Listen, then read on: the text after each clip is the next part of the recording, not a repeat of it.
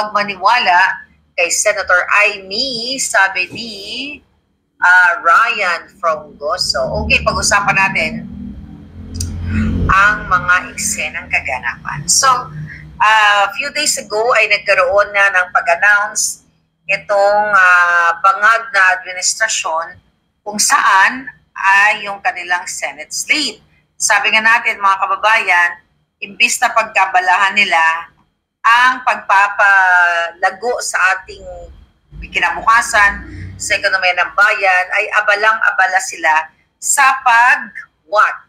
Sa pag sa eleksyon at ang mga balimbing ay nagsama-sama. So we'll talk about the mga ano mga uh, slate nila ni Bangag So ano ba itong mga eksenang kaganapan ni Amy Marcos? Alam ni Amy ang video, okay, independent manggagamit. Alright. So Amy, ano na, ano na ang mga eksena mo, mga hanash? So dahil, mga kababayan, ang uh, drama ni, ni Amy Marcos or ni Senator Amy Marcos ay nag-independent siya tatalakayin natin kung bakit siya nag-independent. Ano ba itong mga hanash na ito? Pero bago ang pagiging independent niya, gusto ko lang ipaalala kay Senator Amy Marcos na wala ka ng kredibilidad. Okay? Senator Amy, uh, nakakarimarim. Okay? Dahil ang pagkonsinti mo sa iyong kapatid, alright, sabi mo nga, ang iyong, uh, ang, ang uh, pangalan ng iyong ama, di ba? Nung kayo ay nanalo, ato ay uh, sa inyong pangalan. Pero sa kabila ng pagkapanalo, eh, eto na nga, nakita ng taong bayan na ang kapatid mo ay bangag at alam na alam mo naman, ngayong gabi na ito, meron tayong ibubukelya. Right?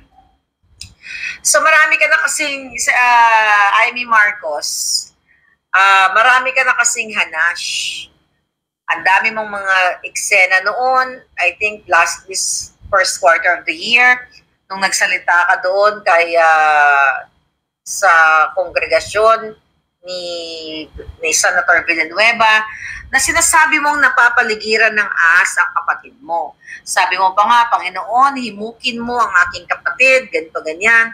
Ano sabi mo exactly?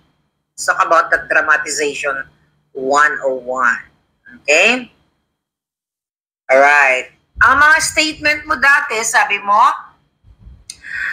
Panginoon, ayun, sa GIL, Jesus is Lord Fellowship. Remember that mga kababayan? Ang sabi ni Amy Marcos, Panginoon, haplosin ninyo nawa ang puso ng aking kapatid, ang puso ng kapatid mong itim at pulboroni. Ngayon sabi mo pa, buksan ninyo ang kanyang mga mata at ilayo sa mga demonyong nakapaligid sa palasyo dahil mo sinasabi, nakakarimarim na. So, alam mo naman na demonyo ang kapatid mo. Diba? Alam mo naman na demonyo yung asawa niya. Mga kababayan, gusto ko lang sabihin sa inyo, bago ko po inilabas ang Pulburon video, ay may idea si Amy Marcos. Okay? Wala nang patumpik-tumpik pa. I, I will try my best mapag magpakainahon ngayong araw na to. Okay? Okay. Yung pulboronic video, bago inilabas yun, alam ni Amy Marcos na lalabas yun. At alam niyang authentic yun.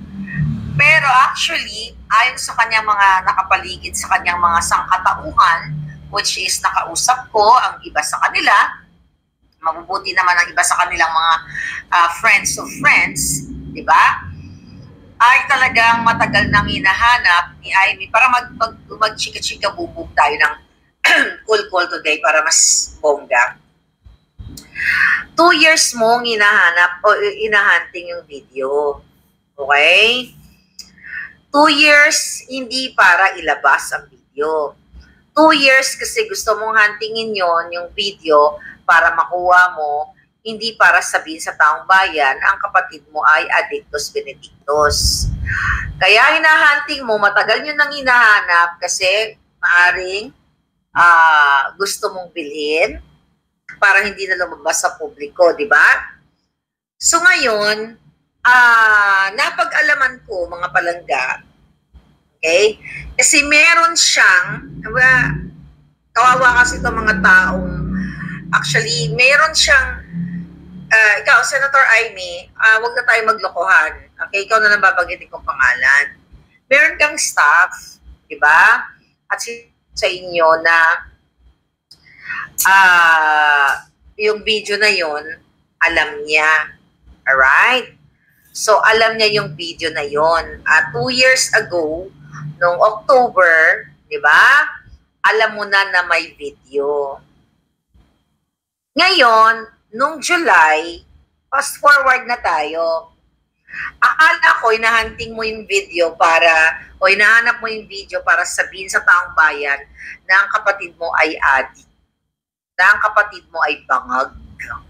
Pero lingid sa kaalaman ng taong bayan ay gusto mo palang pagtakpan ang kapatid mo. Huwag mo nang budulin si Inday Sara. Huwag ka na magdrama, may paiyak-iyak. Kunyari, kaibigan mo siya. Diba? At ikaw naman, Inday Sara, huwag ka nang magpabudol muli.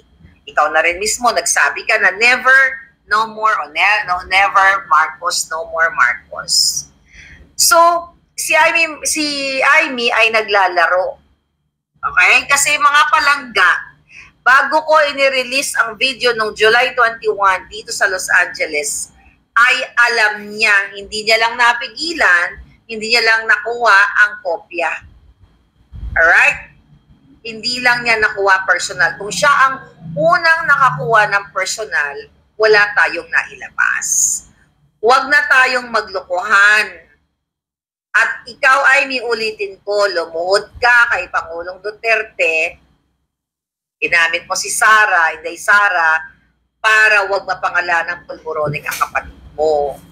Nag-text ka rin, nag-usap tayo noong tuog Agosto na tinatanong mo na may sinusumbong ako sa iyo, di ba? Na yung aking kaibigan ay may, may gagawing pasabog o bonggang-bonggang uh, revelasyon patungkol sa kapatid mong Adictus Benedictus. Ang sagot mo sa akin, ano yun, Maharlika? Yung pagpapabili ni Lisa sa panas ng S o ng asin? Di ba? So alam na alam po ni Amy Marcos na si Bangag Jr. ay bangag. Then alam din ni Amy Marcos na ilalabas ko at alam niyang mga nakapaligid sa kanya na ilalabas ko ang video na authenticated sa dalawang bansa. At dito sa uh, isang bansa ay dito sa Amerika. At yung isang bansa na nag-authenticate ay sa Asia. Okay? So si Amy Marcos ngayon ay naglalaro. Okay? Ngayon pag-uusapan natin kung ano yung strategy na ginagawa niya na kunwari ay labas siya sa picture ng slate ng kanyang kapatid na bangag. Gusto ko magpakahinahon, Senator Amy, ha, hindi kita titirahin ng personal. Titirahin kita ng bonggang-bongga sa iyong pagiging manggagamit. May mga hanash ka in the past na sinasabi mo, minabuti kong tumindig mag-isa upang wag nang malagay sa alanganin ang aking kapatid para wag nang mag-alinlangan ang aking mga tunay na kaibigan. O, di ba? Ang tunay na kaibigan, ito yung tinatawag mo si Inday Sara. Diba? Yan ang kaibigan mo. Pinili mong wag manindi maging mag ano mag uh, tumindig mag-isa. Hindi. Ang pagtindig mo ay isang paduwagan at pagtatraidor sa bayan. Ulitin ko, ikaw na rin mismo ang nagsabi na ang kapatid mo ay pinapaligiran ng demonyo. Kung pinapaligiran ng kapatid mo ng demonyo, which is true, at siya mismo ang kapatid mo ay isang demonyo na Pinapayagan ng asawa niyang magidnap ng dalawang batang menor de edad na hanggang ngayon hirap na hirap o hiwalay o iniwalay sa ina ang dalawang bata. Pinayagan mo at ikinukonsi, iya, kinukonsinti mo ang kapatid mo na magnakaw sa loto, magnakaw sa Bureau of Customs, magnakaw sa flood control, kinukonsinti mo ang kapatid mo na magbayad ng duran-duran. So, hindi ito para ilagay yung mga eklabush mo na uh, gusto mong manindigan mag-isa kasi ayaw mong mailagay ang kapatid mo sa alanganin at ang mga tunay mong kaibigan, it's all BS. Ito'y paglalaro sa taong bayan at pipilitin natin gisingin ang taong bayan sa iyong kahanasyan ngayon. Okay? Nag-statement ka, basahin ko muna ang statement ni Amy Marcos. Ang statement mo at video-video drama Eklabush, wala tayo maglokohan, Senator Amy, hindi ka naman nanalo. Pag hindi nyo dadayain ang eleksyon dahil si Lisa Tanas at ang, as, ang kapatid mo ay kasabwat ang mga mandaraya okay, dyan sa Comelec, hindi hindi ka na muling mananalo pa. Bakit? Okay? Mamaya tatalakayin natin, babasahin ko muna yung iyong kahanasyan dite. Ano sabi niya dito? Alright. Okay. Uh, Jaime Marcos. Asa na yun? Itag. Ito pala. Dali lang. Ang sabi ng hitad, alright, pati si Ping Lacson ay uh, nag-independent na rin. We'll talk about Amy muna. Okay, ang sabi mo, taos puso ako, pu, taos puso ang aking pasasalamat kay Bong, kay Pangulong Bongbong. Nasa kabila na ng galit at labis na kalupitan ng ilan, ako'y ipinagtanggol niya at naisama pa sa alyansa. Sino ba yung sinasabi mo na sa kabila ng galit at labis ng kalupitan ng ilan. Diba? Are you talking to your in-law na Judas na satanas? Ang dami mong pasakali. Ginagamit mo yung taong bayan. Sabi ko nga, kung hindi nyo dadayaan ng eleksyon, hindi ka na mananalong muli. Alright? Sabi mo pa, maraming salamat din sa NP, Nationalista Party, at sa aking mga kalyadong patuloy ang pagtangkilik sa akin naway manatili ang tiwala ninyo. 30, 35 taon na nakalipas ngayong araw mula nang pumanaw ang ama ko. Ngunit buhay na buhay ang mga aral niya sa aking puso. Ano yung mga aral? Yung mga dikta, anong aral? Yung mga aral na kababuyan, ang aral na panggigipit sa mga kritiko katulad ng ginagawa ng kapatid mo, na minamana ng kapatid mo yung mga pangit na ginawa ng nanay at tatay mo nung panahong yun na tama ang mga dilawan na ang pamilya nyo ay diktador, kawatan, uubusin ang pera ng bayan? Wala na kayong kredibilidad. Although nakipag-alyado ang mga dilawang mga walang kredibilidad ngayon na dumidila sa kipay ni Lisa at sa uh, pototoy ng kapatid mo para magkaroon ng kapangyarihan at pera isus sinusuka na kayo ng taong bayan. Even ang kaibigan mong si Sara Duterte, Inday Sara, ay mismong nagsabi na na no more Marcos, never again. Pinagsisihan niya dahil binudol mo siya. Itong mga strategy na ginagawa mo, mga, mga uh, uh, ngayon, isa-isahin natin. Sabi mo, kaya bilang isang panganay, Pinili kong manindigan ng malayat matatag tulad niya na wala na dapat kampihan kundi ang sabayan ng Pilipino. Julul, bilang panganay na kapatid, okay, sabi mo, hindi ka lang sumisilbi sa kapatid mo bilang panganay, senador ka, at ikaw ay nagpapa nagpapa eklabush na para ka sa bayan. No, treban, ek, ek, ganyan. Hindi ka dapat, di ba? Hindi mo dapat kinukonsinti ang kapatid mong adik, ang kapatid mong bangag at buong pamilya niyang bangag. Huwag mo nang gamitin yung taong bayan na sabi mo bilang panganay, pinipili mong manindigang malaya, matatag, tulad ng tatay mo na walang dapat kinapapit kung sa bayang Pilipino. The moment na hindi mo sinasabi sa buong bayan, sa buong mundo na alam mo na ilalabas ko ang medyo noong July 21. At tinanong mo sa akin kung si Lisa Tanasba ay nagpapabili ng shab-shab. At alam mo na ang kapatid mo, sinasabi mong napapaligiran ng demonyo, ni hindi mo maboldyang ang kanyang asawang magnanakaw, kidnappers, lahat na uh, kidnapper, uh, smuggler, lahat na pagtatraidor sa taong bayan yan bilang isang supposedly senador lingkod bayan, nakikita ng dalawang mata mo na ang pamilya ng kapatid mo ay inuubos ang kaba ng bayan, ayaw tigilan ang kaba ng bayan, tapos ikaw ay mag-playing safe lang, ibig sabihin ikaw ay traidor sa taong bayan. Pinapayagan mo ang part 2 na dictatorship ng demonyong kapatid. Kaya itigil na itong mga kahanasyan mo ay may kasinungalingan. Sabi mo, hindi madaling tumayo mag-isa sa kampanya at sa politika. Julul. Hindi totoong nag-iisa ka. Ito'y lahat drama nyo lang. Okay? Para kunwari, oh, tapusin ko muna statement mo bago ako mag-comment-comment. Okay? Ngunit yan ang pamana ng matanda sa akin. Yan ang pamana ni Apo Lakay na ginugunita natin ngayon. BS. Minabuti kong tumindig na mag-isa upang wag nang malagay sa alanganin ng aking adik para wag nang mag-alinlangan ng aking mga tunay na kaibigan. Ayun na nga. Diba?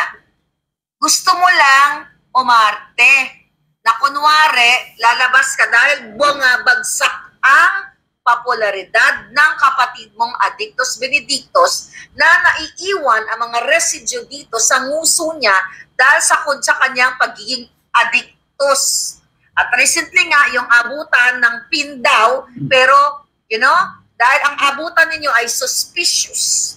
Na-explain na natin yan at kaduda-duda na baka sa ilalim ng pin ay may nakaipit na ilang gramo ng pulboron. Dahil ang kapatid mo sanay sa patagong abutan ng ipinagbabawal na white powdery substance. So ngayon, o pulboron, ang sinasabi mo, pinipili mo lang na manatiling malaya at tapat, hindi sa isang grupo. Kailan ka naging matapat sa taong bayan?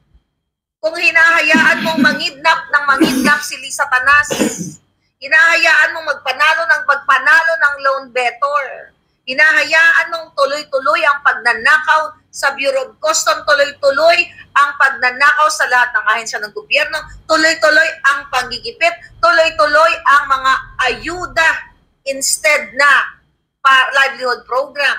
Dahil sa ayuda, ninanakaw nila ang mga ayuda. Kailan ka naging tapat? tapusin natin ang hanash. Okay? Alright. Bit-bit ang aking mga nagawa para sa bayan nitong nakaraang termino, mga batas na aking alay sa taong bayan at katotohanan, hindi ako lumihis sa landas at prinsipyo ng aking ama. Kung may prinsipyo ka, pinanagot mo ang kapatid mo. Okay? Ang pamilya mo sa pagnanakaw sa kabanang bayan Pinanagot mo si Lisa sa kidnapping, sa smuggling, at ang kapatid mo sa pag-appoint kay Michael Ma at na isinekreto sa taong bayan. Ito ay mga kasinungalingan. Ito ay isang kadyutahan. Dahil alam mo ang video, ulit-ulitin ko, alam mo ang video bago ko inilabas. Huwag tayong maglokohan, I mean. Hindi ka mananalo, muli, kung hindi nyo dadayain ang eleksyon. Alright? Sabi mo pa, mga batas sa aking, ah, dadadadada, maglingkod sa bawat Pilipino na walang pinapanigan maliban sa kapakanan ng bawat mamamayan. Sana ay patuloy niyo akong unawain at mamahalin. Bullshit. What is this strategy, mga palangga? Okay? Itong ginagawa ni uh, Amy Marcos ngayon, mga kababayan, ito ay what? Ha? Ito ay what? taktika niya. Dahil nga sukang-suka kayo dito sa kanyang kapatid at sa kanilang party, di ba? Dahil nga Addictus Benedictus, gusto niyang i-win ang heart ng mga Duterte supporters at iba pang or yung mga tinatawag na iba mga swing voters. Gusto niyang i-win na, oh, kung galit kayo kay Bangag o sa mga party niya, ay si Amy kasi nag-iwalay, nag-independent siya, di ba? So, ang eksena niya, di ba? Kunwari, nakahiwalay siya sa kapatid niya. Okay? Kasi nga, yung kapatid niya ay sobrang sirang-sira na sa taong bayan. Pinipilit na lang, bay, hindi, binabayaran na lang ang mga mainstream media, pinagtatakpan ang mga issue katulad ng flood control, smuggling, at lahat ng kababuyan, pati yung duran-duran na yan, di ba, pinagtatakpan na lang ng mainstream media dahil bayad ang mga pokelya nila na sinalaksakan ng pera ng bayan galing sa pukelya ni Lisa Tanas. Okay? So ngayon nagpapanggap si Amy Marcos na kunyari ay humiwalay siya dito sa kanyang kapatid pero possible ito na bibigyan din siya ng pondo galing sa bay, sa pera ng bayan galing sa confidential fund sa darating na eleksyon. Diba? Kunwari, mga kababayan, sila ay magkahiwalay kasi ayaw ni Amy Marcos na maapektuhan siya sa negative na impact na galit ng taong bayan sa bangag niyang kapatid. Ito ay panglilin lang. Para kunyari, siya ay maayos ang kanyang uh, plataforma, di ba? Pero sa totoo lang, the fact na puring-puri pa rin niya at sinusuportahan niya yung kapatid niyang bangag ay walang patutunguhan dahil once na magwagi siya, just in case na magwagi siya, si dinaya nila, sharing of power pa rin, magkakasabwat pa rin sila. Kunyari ngayon, drama-drama lang, para hindi siya madamay. Okay? Hindi siya madamay doon sa negative o negativity na ginagawa ng kapatid niya, yung wide, di ba?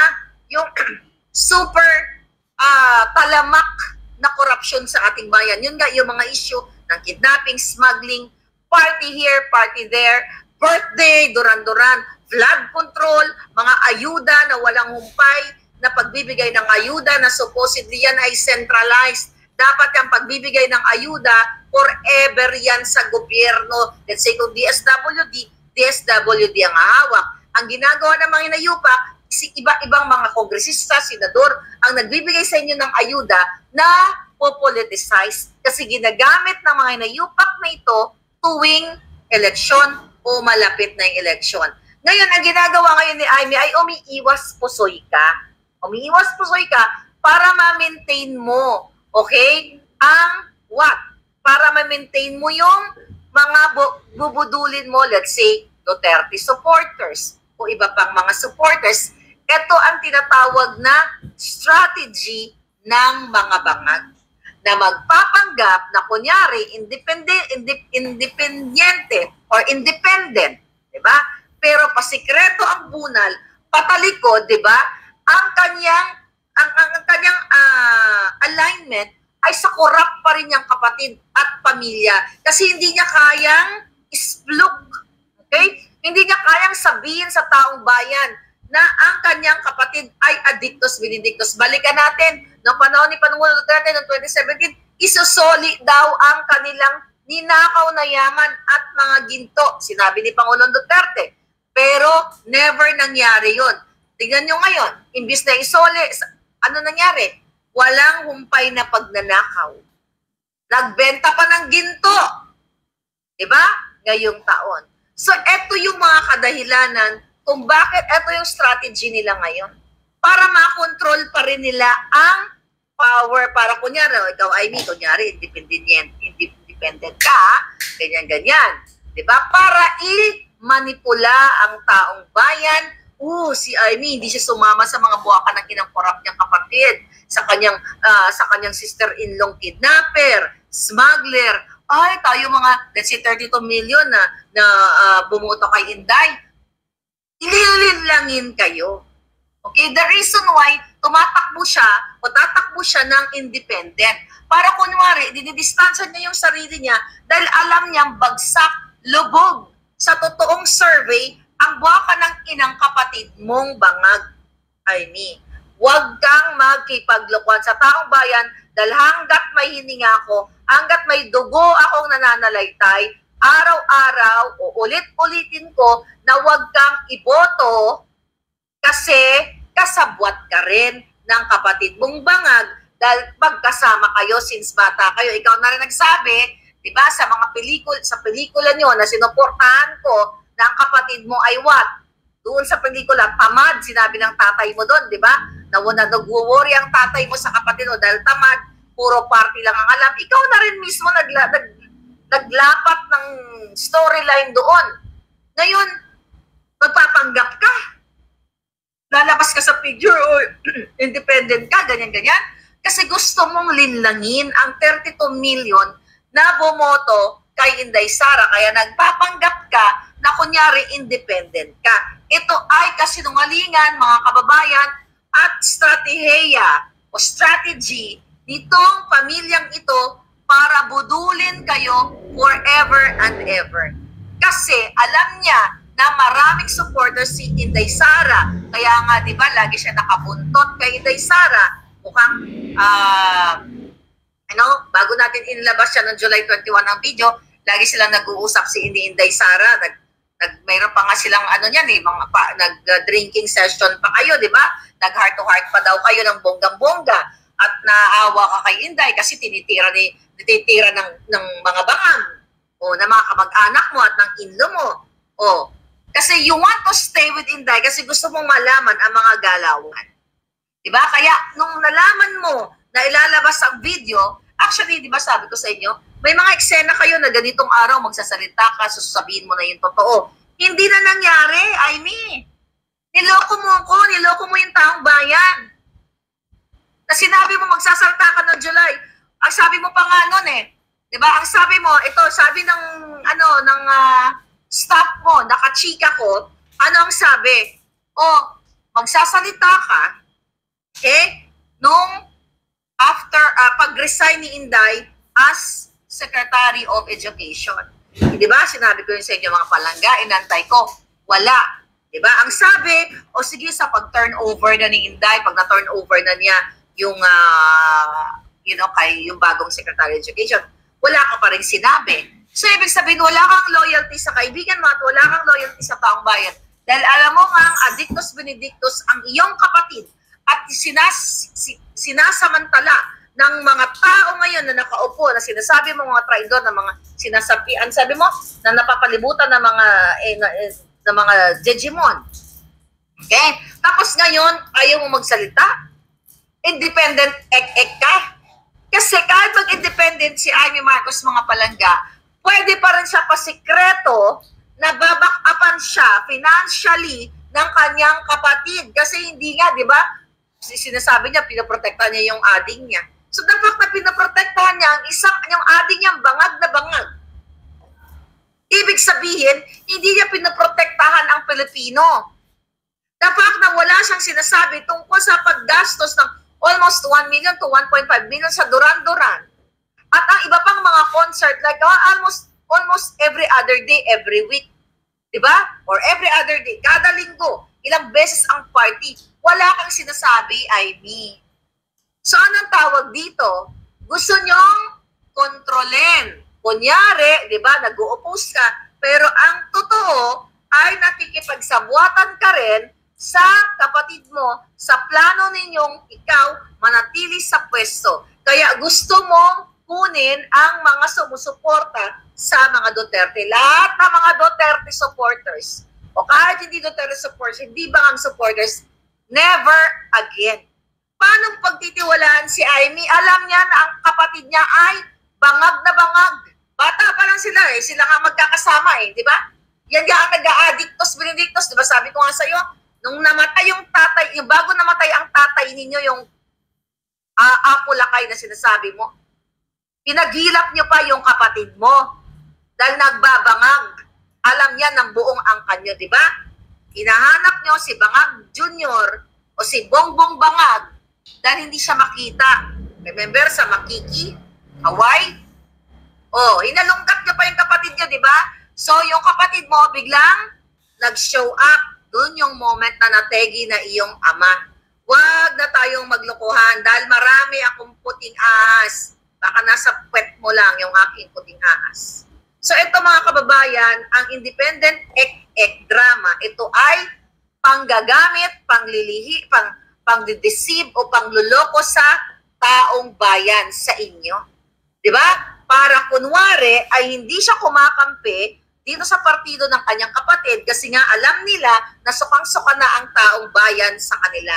Kaya wala nang kredibilidad ang mga Marcos. Well, wala na talaga. Sabi ko nga, dapat burahin sila sa mapa ng Pilipinas, sa mapa ng politika. Dapat magkaroon ng batas na ang mga Marcos na yan ay hindi na muling makatakbo o burahin na sila sa lipunan dahil sila ang punot dulo ugat ng pagnanakaw, ugat ng pagpapahirap ng diktadorya at kung ano-ano pang kahirapan sa Pilipinas. Diba? So wag na kayong magpapaniwala dito sa kanyang pagiging independent puno. Ito ay palabas lamang. Sabi ko, hanggang, hanggang puring-puri pa rin yung kapatid niya, ang ading-ading niya, na sinasabi niya, oh, ganyan-ganyan, napapaligiran. Pero wala siyang sinasabi bilang kapatid. Di ba sabi nila, blood, tama naman kayo, blood is thicker than water. Eh di sige, supportahan niyang kapatid sa pagkabangag, kaya huwag niyo silang iboto. Pwede sila magbangag forever. Lunukin nila isang bloke o isang isang toneladang pulburon hanggang mategi sila. Wala tayong pakialam kung gusto nilang sirain ang buhay na get out from the government funds. Yun lang ang pakiusap natin.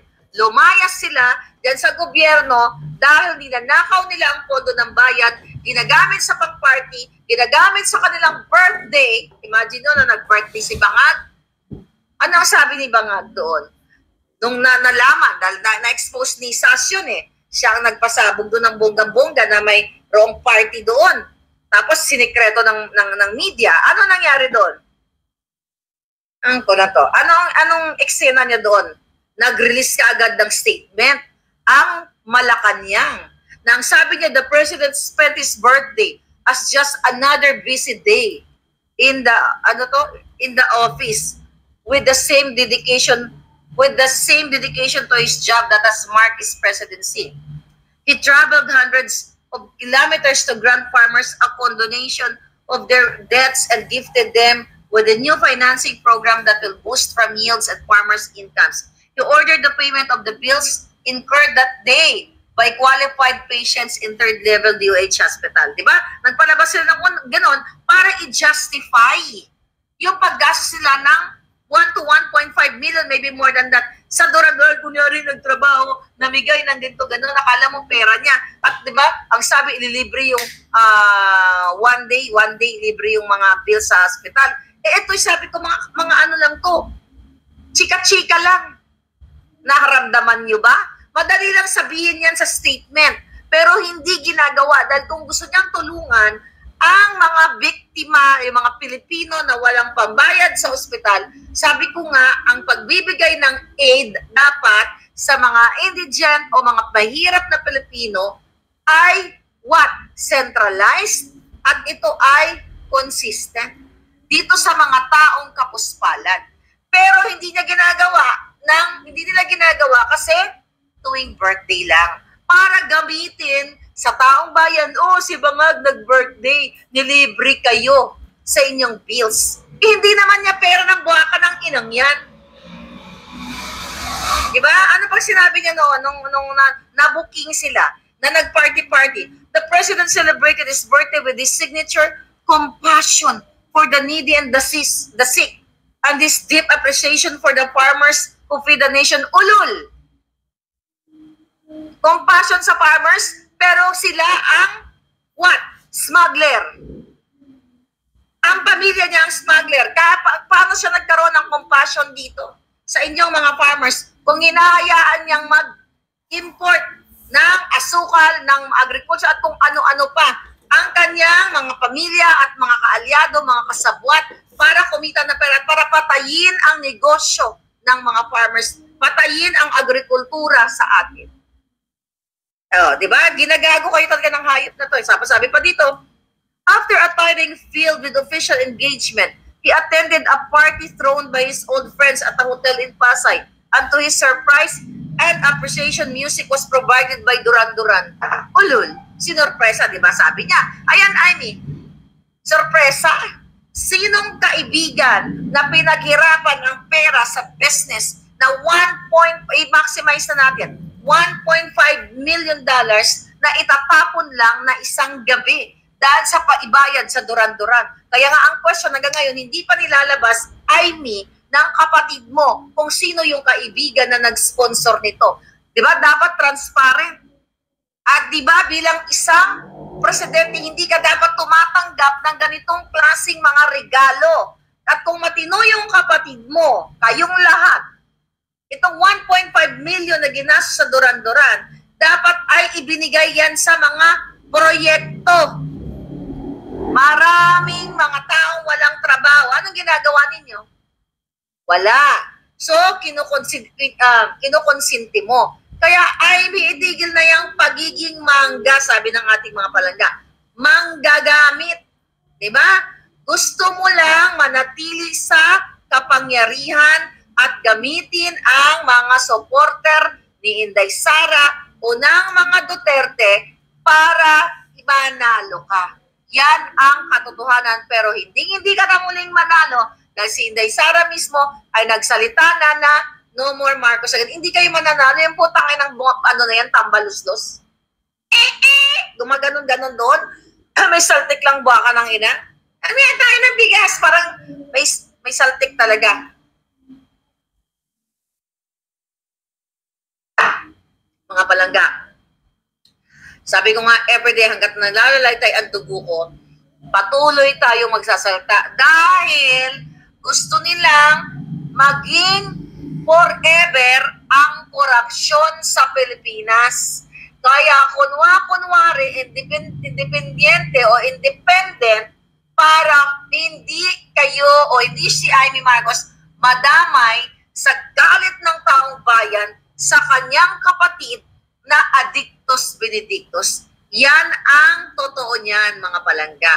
Kaya wag na wag kayong magpabudol muli dahil kung napapansin niyo ulit-ulitin natin, ang kanyang pinsan na si Tambalasos, lahat ng mga hinayupak ng mga kongresistang kasabwat nila, Kimbo, uh, Revilla, may napanood akong ano, TikTok, na nandoon sila sa Cavite, na nagsis, pinapasigaw nila yung taong bayan. Lakasan niyo yung sigaw. Kapag malakas ang sigaw, yung sigaw ng sigaw ng pangalan ni, kunyari, ni Tambalustos, o kung sino man ang pinopromote nila for the next election, lakasan niyo yung sigaw kasi pag malakas ang sigaw, malaki rin ang, ba, ang, ang makakuha niyong ayuda. Tama ba yan? Kaya sabi ko nga kahapon sa inyo, so, kahit bibigyan kayo ng isang sakong ayuda, ay isang sakong bigas, kailan maglalast yan? At yung binibigay sa inyong ayuda, pera ng bayan. At yan ay ginagamit nila kung paano mangawat o mangupit. Dahil yung bilyon-bilyon na ayuda na binibigay sa inyo ay na, na nire-release from the government latak lang ang nakukuha ninyo. At ginagawa nila yan para forever o forever and ever kayong nakadepende sa ayuda na yan. Mangmamalimos kayo, magmamakaawa kayo sa lahat ng mga politiko sa inyong lugar. Kaya yan ang totoo niyan mga palangga. Yung mga dole out na yan, yung mga pasobre-sobre, mga pabigas-bigas na sinasabi ni Romualdez na 5,000 pesos, akala mo nasa game show, limang kilong bigas. Tinuturuan kayo kung paano maging tamad. Ang matinong leader, yung mga perang yan ay ipinupondo sa livelihood program o sa para paglago ng ekonomiya para mabigyan kayo ng trabaho para makapag-develop ang Pilipinas ng tinatawag na middle class. Kasi right now, ang meron lang sa Pilipinas, poor and rich. At ang mga rich, yun yung mga politiko na nagnanakaw sa kaban bayan o yung mga negosyante na nakikipagsabwatan sa gobyerno para protektahan ang kanilang negosyo para forever silang rich at kayo forever na poor at gagamitin kayo tuwing election bibigyan lang kayo ng limang libo o dalawang libo o limang kilong bigas, isang sako bigas, ay, bait-bait na ni Mayor, binigyan kayo ng bigas. Huwag ka nang inapera nyo yan, mga palangga. The reason why ginaganon kayo, para forever kayong maging mahirap, maging naglilimahin. Hindi nyo ba naintindihan yan? Halos lahat ng politiko dyan, kongresista, senador, yan ang ginagawa. Gusto nila kayong maglilimahit hanggang sa kaduluduluhan ng apo ninyo. Ang sinasabi ko nga sa inyo mga kababayan, noong inauguration ng nandiyadyaan ako, kausap ko yung mga kamag-anak ni Lisa Tanas, punong-puno ako ng pag-asa dahil ang nasa mind ko noon. Ulitin ko, hindi ako pwedeng i-appoint. Okay? Dahil I'm not qualified at hindi ako nag-apply. Gusto natin linawin. Pero gusto ko sanang mag-suggest dahil kaibigan ko dati kong kaibigan si Lisa Tanas Kidnapper na, oh, Lisa Tanas, kasi dito sa Barangay 101, marami silang buko, baka pwede natin i-educate ang mga tao o mga, you know, may uh, age bracket na ganito, turuan natin sila kung paano nila gawin ang buko nila as oil or sabon or cake or whatever, di ba? Kung ano yung meron silang resources, yun yung naisip ko yun. Nung inauguration na, gagausap ko yung mga kamag-anak ni Lisa Tanas na mga Ledesma doon sa inauguration. Ang sabi ko pa nga, I'm willing to go back home at my own expense, di ba, to help the government. Pero anong ginawa ng mga inayupak ng mga kamag-anak mo, Amy Marcos? Gusto niyong panatilihing mahirap ang Pilipino. Yung pamimigay nyo ng Notreban, Notreban, bullshit na Notreban na yan. Ang pamimigay nyo ng tubig sa mga estudyante, dalawang tubig, dalawang boting tubig. Pagkatapos na, na inuman tubig, uhawin na naman yung mga bata. Pagkatapos kagatin ng Notreban, gutom na naman. Tapos pipicturan nyo, ganyan-ganyan. O, nabigay ng Notreban, clap! Lagay nyo sa inyong post para sabihin, ay, mabait ito si Senator Amy kasi nagbigay ng Notreban pero ang totoo, one time nyo lang binigyan, o two times, o three times. Two times, three times, five times, ten times na makakain ng mga bata. Kung bibigyan nyo ng trabaho ang kanilang mga pamilya, katulad ng sinasabi ko, which is sinabi din ni Bangag dati yan, nakala ko totoo, na kung may sinabi siya na kunwari, itong place na ito, gumagawa ng labanog or something, may, may interview siya nun, sa Go Negosyo na natuwa ako, na yung mga, res, mga uh, resources ng komunidad na yon ay tutulungan na event na i-market, i-educate ang mga tao from labeling, mixing o whatever, at kung paano ilalagay sa market ang kanilang mga produkto, ginawa ba ni Bangag? Hindi. Puro lamang kasinungalingan. Yan dapat ang ginagawa ay hindi ayuda. Kahit 100 times pa kayo bigyan ng ayuda, 100 times o 100 days lang pa kayo mabubuhay sa mundo Isipin nyo nga yan, mga palangga. Kaya wag na kayong magpapabudol muli. Gusto kayong forever mahirap ng mga buwaka ng inang si Abante, si Luis Tro, si, ano, si uh, uh, Fernandez, si, yung mga demonyo dyan lahat sa Quadcom. Or, eh, sila naka-Hermes, naka, naka, yeah, Hermes, Patek, Philip ko, ano-ano pa mga designers. At ang kanilang sweldo, 200 to 300,000 a month lang nakakapagpatayo ng isang mga malalaking resort, lahat ng mga high-end cars, luxury, whatever, name it. Tapos kayo, bibigyan lang kayo ng ayuda kahit 10,000 pa ang ibigay sa inyo, which hindi nangyayari.